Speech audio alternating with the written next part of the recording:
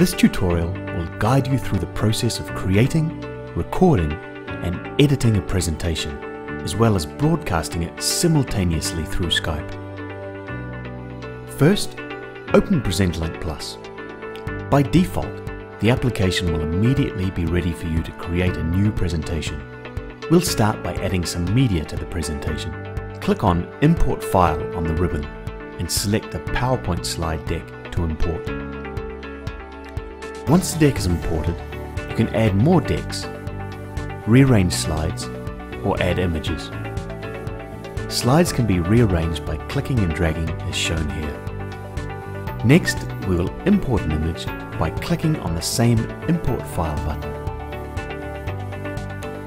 It's now been added to the end of the presentation, but we'll move it to the beginning. Input sources can be moved around and inserted at any point, including between the slides of the imported PowerPoint.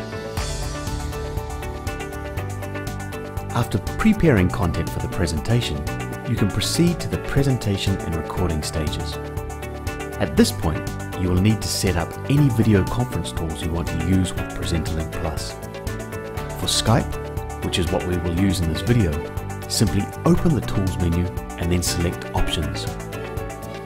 Click on Video Settings and in the drop-down menu for camera selection, choose Camera for Video Meeting Plus, Presenter Link Plus. A similar process applies to other video conferencing applications.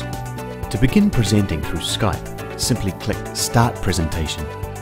To record the presentation at the same time, click Record.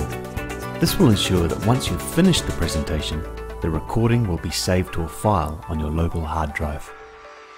If you wish to present to a live audience as well as over Skype, you can extend the presentation to another monitor, just as you can in PowerPoint. The second monitor will be used to display the slides and webcam video, and your primary monitor will display the slide notes and upcoming slides. To activate this, simply click Extend Monitor.